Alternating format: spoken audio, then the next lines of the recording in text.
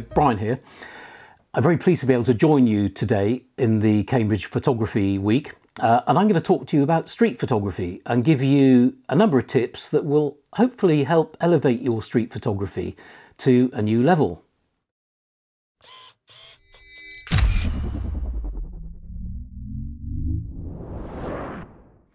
For those of you who don't know me, I'm a Fujifilm X photographer, in other words, an ambassador, and I'm a full-time professional street photographer. Every year, though I guess maybe not this one, I run 60 to 70 street photography workshops across the UK and Europe. I've written two best-selling street photography books. So street photography is pretty much my life. So in this short film, we're going to look at what I shoot, why I shoot it, how I shoot it, and what gear I use to shoot it with. Now, I meet a, meet a lot of people who are maybe new to street photography or who have been doing it for a while but are a bit disappointed with the results they're getting. And that's not uncommon. It could be because their approach isn't quite right or because the nerves take over and a lack of confidence holds them back or very commonly they're overthinking it and expecting too much. And if any of this sounds familiar, stay tuned as I'm going to give you my 10 hot tips on how to elevate your street photography. But first of all, if, if we're going to talk about street photography, we need to decide what street photography is, and arguably more importantly, what it's not. Let's not make this the elephant in the room. Let's get it out there on the table, and we'll start with what street photography is not. And of course, this is my own personal view, and uh, I'm sure people will disagree with me. Now, we've all seen random pictures of a random guy in a random street doing nothing in particular.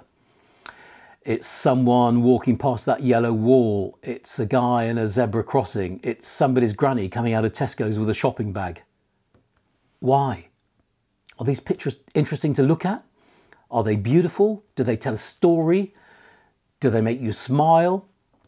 The chances are probably none of those things because they're just boring pictures of people in the streets. And I'm sorry if this is controversial, but there's a brick wall we all hit, and it, it's often we hit it when when we're shooting random pictures of people in the streets. Okay, and this video, hopefully, the tips I, I'm going to give you will get you beyond that.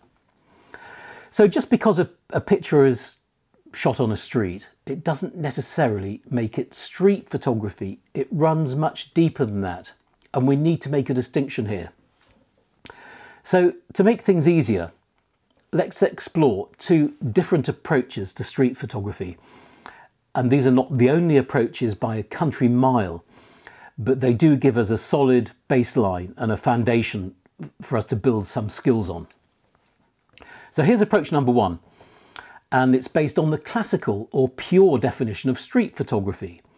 We can trace this definition back to where street photography be began and where it grew up from the Henri Cartier-Bresson era through the likes of Elliott Erwitt, Garry Winogrand, Joel Meyerowitz, William Klein, Jeff Mermelstein, Mark Cohen, and many, many others. It really started in the the 1950s and ran strongly through the 60s and 70s into the 80s and in fact to the present day. And I'm just going to show you some images now that that just reflect this the, the kind of golden era of, of street photography. See what you think.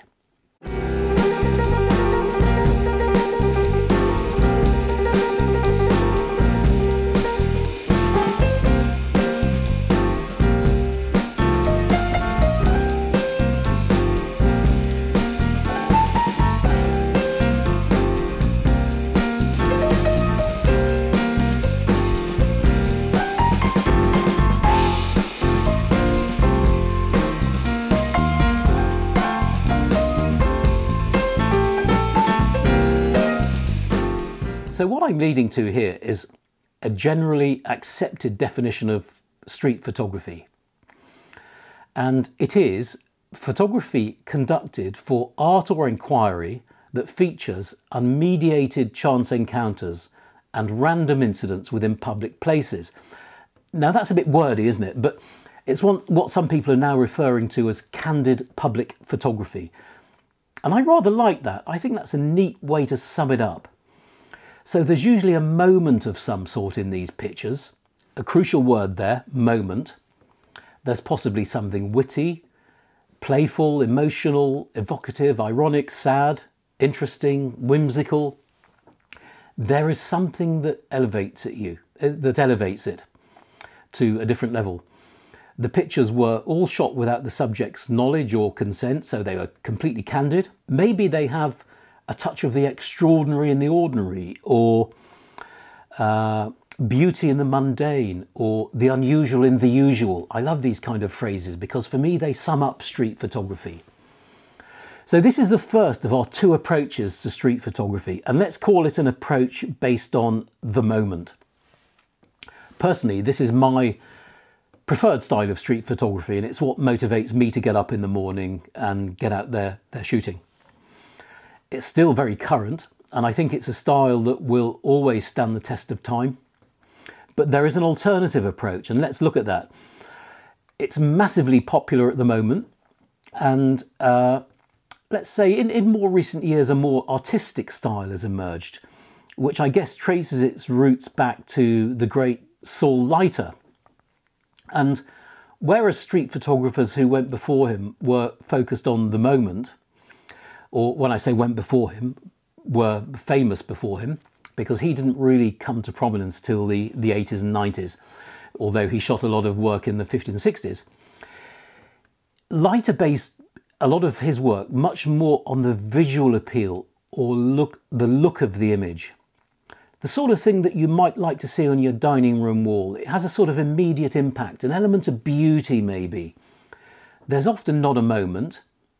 The story, the, the picture may not tell a story, but it's still a valid approach to street photography. Here's an interesting quote from Saul Leiter, which I think sums up his thinking. A window covered with raindrops interests me more than a photograph of a famous person. The sort of image that falls into this category could be based around strong form or shape, or a particularly strident colour palette, or maybe it's based on abstraction, or more topically and fashion fashionably based on the use of light. This use of light, where maybe you have a person walking through a streak of strong sunlight, does maybe have some visual punch, but it's not really the image that you could really absorb or linger over, and it lacks the enduring appeal of, of the more classical approach. But hey, maybe Leiter's work proves me wrong here. Uh, the guy was an absolute legend. So let's call this approach the aesthetic approach. It's become really popular. You'll see many, many thousands of stunning images on the web and on Instagram. And I know this approach won't appeal to everyone, and I know that some people, a lot of purists, are quick to dismiss it. But art is surely about producing something that you like and something of beauty and interest. And I think Leiter's work ticks that box for sure. But I, I, really don't think we should be thinking in terms of what's right or wrong here. We should be celebrating the differences and you should do what works for you. So think about these two approaches the moment and the aesthetic. And we'll come back to these again when we're looking through some images shortly. So before we get into my killer tips for street photography, why Fujifilm? A lot of people ask me this. Well, I first got my hands on a Fujifilm X series camera when I was a photojournalist and I was working on an assignment in the House of Lords. I remember the day clearly. I met a press photographer standing next to me who had a little X10 round her neck and we got talking about it. And I guess this must have been seven or eight years ago, something like that. I'd never seen one of these before and I guess I was a bit intrigued. And I got my hands on it. From that point on, I was hooked and I went out and bought one the next day. And that chance encounter led me into the Fujifilm ecosystem. My next camera was the X Pro 1 and in fact I bought three of these and they became my go-to camera system for documentary photography. So fast forward to today, and I'm using basically the same kit, although now in the form of the, the X Pro 3, uh, this lovely camera here. But we'll, we'll talk more, a little more about that later. So let's get straight into the 10 tips now. And my first tip is know what you want to be. In other words, think about developing a style. Let me explain. Street photography can mean many things to different people. If you walk out of your front door just hoping for some interesting encounters on the streets, you will probably go home disappointed. So you need to go out there with a sense of purpose. You need to know what you're looking for, what floats your boat. Otherwise, you will just end up with that random guy in a random street doing nothing much at all. And we can all do better than that. So think about what turns you on about street photography. Is it the thrill of the moment? In which case, we'd probably call you a hunter. Or do you prefer a more considered approach, uh, a quieter, more laid back approach? Maybe finding a great background and then waiting until all the right elements come into place. Maybe you need somebody with a dog to make your scene complete, just to add that element that, make, that makes it work. And if you prefer this approach, we would say you're more of a fisher.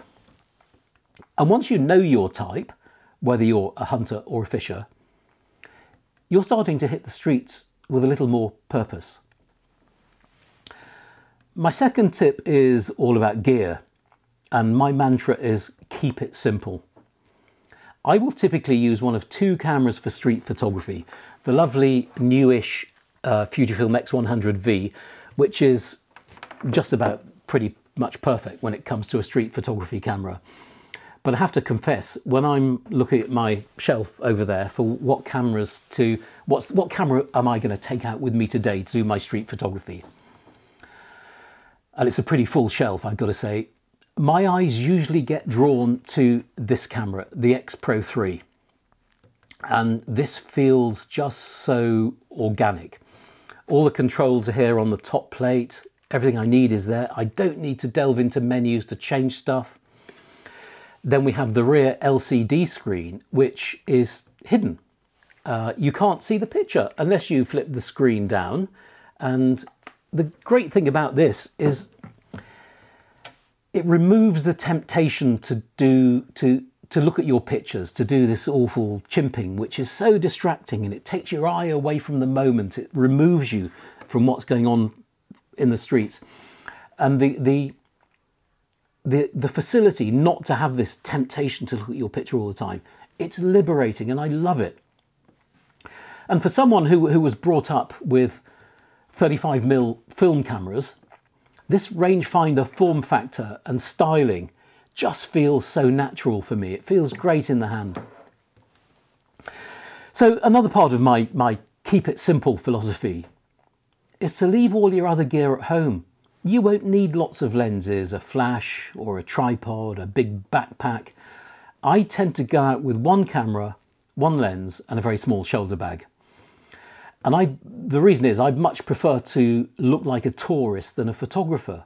I don't want, if you're recognized as a photographer, people run a mile, people turn away from you. Uh, occasionally people give you a hard time. So don't be that person who goes out there draped with two DSLRs with enormous lenses and a big backpack and a belt with pouches hanging off it. People will avoid you and that's not what you want as a street photographer. You've got to blend in, you've got to look like everybody else on the streets. Tourists are harmless. Be the tourist. So leading on from this, tip number three is learn to read the streets. To be a good street photographer, you need to be streetwise. You need to understand what's going on around you and to make sense of it all. You really need to be part of the street life maybe matching your movement to the rhythm of the street to the point where you just blend in and it all feels so natural. And as street photographers, we need to see, we really need to really see what's going on around us. So we need to develop a great sense of observation and a real sense for detail. But when I talk about being streetwise and reading the streets, what else do I mean? There are other things. Firstly, we need to stay alert. You never know what's around the next corner. You've got to have your camera switched on in your hand, set up, lens cap off and ready to go. It's no good in your bag or over your shoulder, which is one of the reasons I always use a little wrist strap like this. So the camera is here in my hand, ready to go. It's maneuverable. Then never hesitate. Uh, hesitation is the killer of so many good shots. When you see that picture that you want to record, get it there and then, nail it. That first instinctive shot is probably going to be your best shot. So as soon as you have that thought to take a picture, take it. Then think about how can I do it better? What else can I do? What if I stand over there? What if I try a lower viewpoint? What if I move around the back? Then work out all the angles. We call this working the scene. But get that instinctive picture first. Don't hesitate. So then you need to also, when thinking about reading the streets, you've, you've got to read the light. You've got to be a light hunter. You've got to know where there is where you, light that you can use, good, usable light, interesting light, great light. You've got to be able to recognize it and then be able to use it. You've got to be a, a student of body language so that you can predict what's going to happen next. You've got to be obsessive about detail. Uh, detail is everywhere and it's so important to street photographers you, for creating visual metaphors like this, uh, by the way, uh, which is a fork in the road. You can go fishing. And I mentioned the fishing technique earlier, being a fisherman. This is where we find our ideal background and wait, for as long as it takes, for the right subject to present itself to make the frame complete. It's a popular approach in street photography, although I've got to say I don't really have a great deal of patience. And for this image, I think I probably waited two or three minutes and I got lucky. And that's another thing that about street photography, we get lucky. And finally, on being streetwise, slow down, walk slowly. If you walk slowly, people don't notice you and you tend to blend in more. But by walking really slowly, your senses tune up. You see more of what's going on around you, you hear more, you smell things, and you just take in a lot more and also have a 360 degree view of the world. Always be turning round to the sides and behind, being super aware of what's going on around you. So be streetwise. Now this brings me neatly onto my fourth tip, which is kind of related, and it's all about making connections. Try to find things in your frame which connect to each other. It could be any combination of people, things, foreground, background, and so on. But you should really be aiming to connect them to produce something interesting. In this shot, the simple juxtaposition provides the connection. In this one, we're making a connection between the sign and the poor old pigeon. And in this one, which is no in no way a statement about what I think about the police, it's just a, a nice sort of visual pun uh, it's connecting a, a word with the things going on around it. So make connections. This will bring real power and interest into your images. And the connections are there, they are all around us. We need to be able to recognize them to be good street photographers. So, my fifth tip, and this may sound really obvious, but stop shooting boring stuff. How often do you see a really boring image and think to yourself, how is that street photography? It's a guy sitting on a bench or somebody just sitting in a cafe. Here are a couple of images of mine I shot to, to make the point uh, about what is a, a boring image. And the first one is, okay, there might be nice, decent light, the colours pop, but it's a woman walking past a blue wall on what level is that interesting? And here's the, the picture I showed you earlier, uh, which I took for this very reason. Somebody running through a streak of sunlight. Um, we see lots of images like this in street photography. And there's nothing wrong with them as such, but there's nothing interesting. And it's our job as street photographers to make the world look interesting. We often see this image of somebody walking through a, a, a beam of light but does it really work? It needs another element, another element to elevate it from the mundane to the interesting. It could be something really small that, that provides the interest, like this guy's ear flaps, which got caught by the wind. Or the shadow on this woman's face caused by her glasses. Or maybe it's just a, a, scene that you think is a pleasing composition, such as this one. Or this one, which is, uh, has a touch of Saul Leiter about it, but a more abstract quality. But what I try to look out for, though, is uh, a, a real sense of the unusual in the usual, something mundane which becomes interesting because something just shouts at you to take a second look. Or pictures which beg you to make sense of what's going on, like this one. What is this guy doing? What's, what's it all about? Or this one, just strange. Or this one, is the guy disobeying the sign? What's happening here? Who knows? Who, who, who wants to know? Who cares? But it makes you, it does make you think. So tip number six is uh, only use one lens for street photography, at least initially. If you're start, start starting out on this journey, I would strongly recommend that you only ever use one lens. And get to know that lens so that you instinctively know what it's seeing, so that you understand how it describes the world. My ideal lens is 35mm in, in full frame terms. So in Fujifilm terms or crop sensor terms, something like this 23 mil. Uh, this is just about perfect. I particularly like this 1.4 version because I do quite a bit of my street photography at night and I love shooting wide open at night. So uh, this is this is my kind of good all-round lens. If I'm using my X100, it comes with a fixed 23mm lens, so 35 equivalent, which uh, does an equally terrific job. If you're a micro four thirds shooter, you should be thinking along the lines of a 17 mm lens. So why wide angle, you're, you're maybe thinking?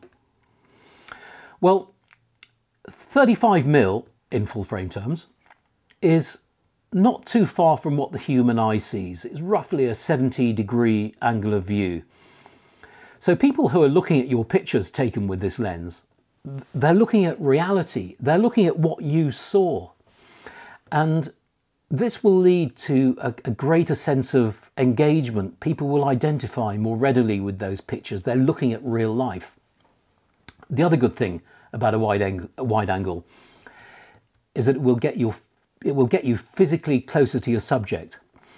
And we often hear there's uh, one of the kind of rules of street photography is get in close, and it's maybe a little bit overplayed if you ask me, but we do we should try to aim to get as close as we can uh, comfortably. And this but by getting physically close you will your pictures will have a greater sense of emotion and intimacy. It puts you right there in the thick of it in the action. And the, the, the voyeur shooting from across the road on a 200 or a 300 will be so removed from the action from the action these pictures just won't look realistic. They won't look like street life. So this is my preferred lens, the, the, the 23 mm uh, my other preferred lens that I do use for street photography, particularly more so at night, is the, the 56 mm And I've got to say, I think this is probably the most beautiful bit of glass I've ever owned. This is the 56 mm f1.2 and at night it is just terrific. You it lets a lot of light into the camera at f1.2, so it gives you uh, it's very good in exposure terms. Uh, but it's the ideal focal length, I think, for isolating detail at night. Uh, but it's also the lens I use during the day for street portraits. And street portraits are, uh, I, I, guess some purists would say, well, that's not street photography, it's a portrait. But street portraits have always been in a part of street photography, okay, albeit in the margins, but they are part of street photography. And I enjoy shooting street portraits, particularly as part of a project. So, well, talking of projects, my, my tip number seven is use projects to bring a, a real sense of focus and a sense of purpose to your work. People who are new to street photography often struggle to find interesting subject matter. And it's all, it's all too easy to resort to the sort of random, randomness we've been uh, talking about earlier. You know, the, the, the thousands of images you'll see on the web or Instagram of random people in random places, that random guy walking down the street, people doing nothing in particular. It's all a bit meaningless. There's no sense of narrative, there's no theme, there's no connection between the images. So by working in projects, you can add some real impact to your work. Uh, it will give you it will give you a real sense of purpose and fulfillment because there will be an end product. So a project is simply a collection of images which is generated on around a specific theme with a kind of glue that bonds them all together as a body of work. I'm at any point in my street photography life, I'm working on six, seven, eight projects. So when I go out there shooting for the, I go out shooting tomorrow, I'm really focused on my projects. I know what it is I'm looking for. The material is here on my head. I've just got to find it. it stuff, I compartmentalize the streets. I put the stuff into these little project boxes. Now, that's not to say that I don't also concentrate on what's going on around me and I see this great moment happening over here, or this great bit of light over here, or whatever it is I, I want to shoot, I'm still looking to shoot that, but that's the bonus. These things that happen, these spontaneous reaction things, I still shoot them, but it's the bonus. That's what makes you ultra satisfied at the end of the day. But projects on, are my focus. And projects also give you, they provide you with a clear end game. Uh, which could be in the form of a photo book, a set of prints, a set of frame prints on your wall, a set of postcards, an exhibition, a web gallery, even a blog post. But it's something that will spur you on and motivate you to produce a tangible body of work. One, one of the most satisfying outcomes of a project is to share your work, and there's a, a real sense of achievement to see your images in a gallery or on a website or in the pages of a book. Zines are currently uh, a very popular way to bring a project to life.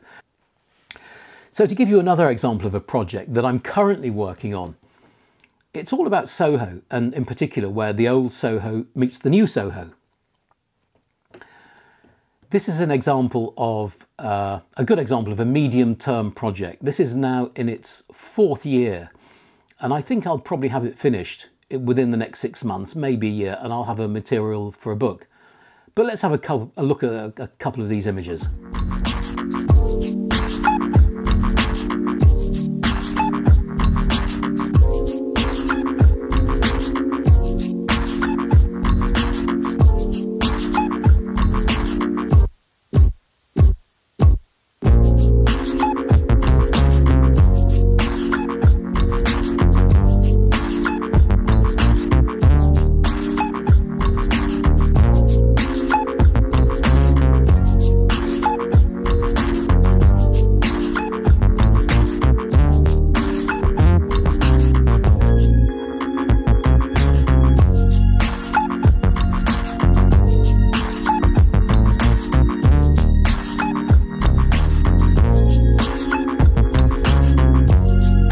Do think about projects. Get yourself stuck into a project. It will give you this sense of motivation, fulfillment, and purpose. I really strongly recommend it.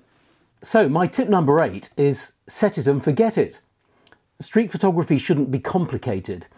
And in fact, from a, a technical perspective, things couldn't be simpler. And what is important is that you're in a state of constant readiness to be able to quickly uh, respond to the scenes evolving around you. So I tend to set up my camera at the start of the day and I don't touch those settings unless the light changes significantly. I really don't want to be faffing around with camera settings and ISO and shutter speeds and stuff, which is wasting all this mental energy, which should really be going into what's going on around me. So here's an approach that works for me. Okay, I start off by setting the ISO to auto and in the auto ISO settings, I set a minimum shutter speed to 200th of a second. And I set the ISO range to somewhere between, say, 400 and 3200. That gives me a, a good range for daytime shooting. I'm quite happy for it to go high towards 3200. I then put the exposure mode into aperture priority or A mode, and I select the aperture that I want to work at as at f8. And f8 is a good compromise aperture. It lets a fair amount of light into the camera, and it gives me decent depth of field, decent front to back sharpness. So the auto ISO option, provided you set your menu to give you this minimum shutter speed of a 200th or faster, this will help minimize uh, subject blur or camera shake, either of which will ruin your shot. But this little tiny bit of extra noise by potentially having a high ISO won't ruin your shot. So with potentially a high ISO, the camera will choose in aperture priority a fairly fast shutter speed, something above a 200th of a second. And that's what I need for street photography. So these settings are a good uh, sort of walk around compromise. I call it my walk around setting and it makes sure I get the shot 98% of the time. Any fine tuning to exposure can be done by tweaking the exposure compensation dial up here. And I do this a lot, particularly in good light, uh, typically to maybe uh, protect the highlights or to intense intensify shadow areas. And if I have a shadow area, I, I, want the shadow to be dark and deep and inky and dramatic, not a wishy-washy shadow. So minus one or minus two on the exposure compensation will really give me some depth. And then if the light is behind me, so I've got bright sunshine streaming from behind me onto my subjects, I'll typically set the uh, exposure compensation to minus one by default. This is by default. And this, this gives a, a, a lovely vibrancy to the colours, keeps the highlights in check, and it just adds a bit of a wow factor to the image. The great thing about uh, these Fujifilm cameras is that you can see all the exposure settings, the exposure triangle. It's all here on the top plate. There's no need to delve into menus and you can make changes quickly on the fly having said that, if you if you have time and you let's say you find a nice background and you've time to wait, then yes, you choose you change the settings to suit the situation. So you may want an out of focus background. Sure, open up the aperture, but just remember to reset it to your walk around settings when you set off again. Other settings, well, I try to keep everything again really simple. I set white balance to auto.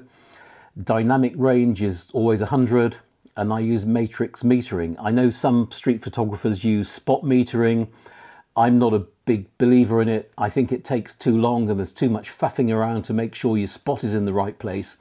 And it's taking your focus and attention away from what really matters, which is the moment. And in terms of file format, I usually shoot RAW Although I occasionally use some of the, the Fujifilm film simulations, such as Acros, which is gives you this beautifully uh, contrasty, gritty black and white look, or classic negative if I'm using color, which I think are gorgeous. But I'll sometimes use the JPEGs, but more often than not, I will just work on the, the raw files.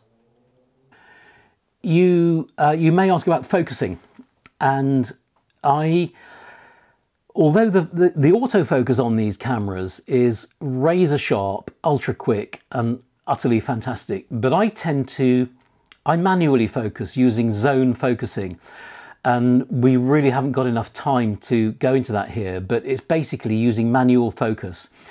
And the principle is that at a small aperture, say f8 or f11, if you set your lens to manual and pre-focus on a certain distance in front of you, you will have a range to work in, a zone. So I know with this camera, with my X100 for example, if I set this to f8 and manual focus, I set the focusing to manual on the side here, and I manually set the focus point to uh, a point, say, eight or nine feet away, I know that everything between about 5 feet and about 20 feet will be sharp.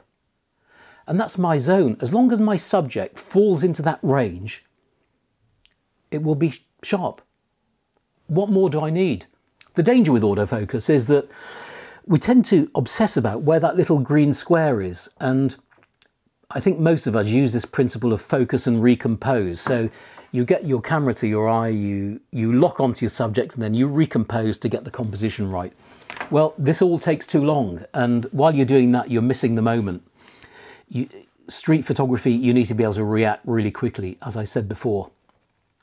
And zone focusing will help you do that. It's liberating. There are loads of videos on YouTube about how to do zone focusing. And if you put your camera type in, so say Fujifilm X100F zone focusing in the search box in YouTube, you will find loads of uh, very good instructional videos. So tip number nine is to get over your fears of street photography. Most of us have some level of discomfort with photographing people in the street and we all deal with it in, in different ways. Some people fight the feeling and shoot away regardless. Some will just give up and shoot something different. Others will learn a new set of skills which will help them deal with the difficulties. But here are some ways that can help you minimize your fears.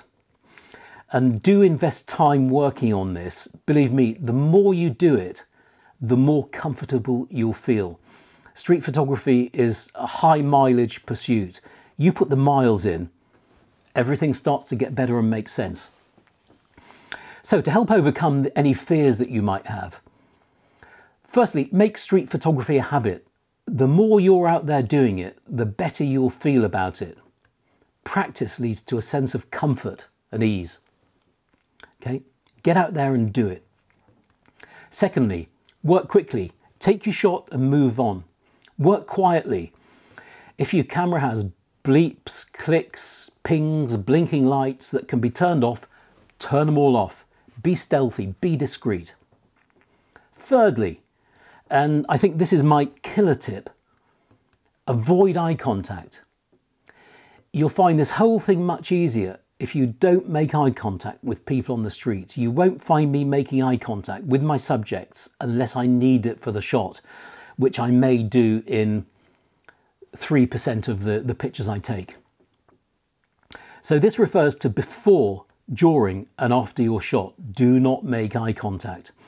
If you don't, you will find this whole thing much, much more comfortable and easier.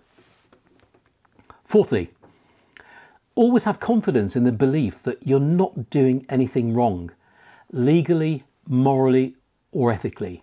And keep telling yourself this. You'll certainly be more confident if you know the law, and street photography in a public place is perfectly legal in the UK. You don't need anyone's permission to take their picture.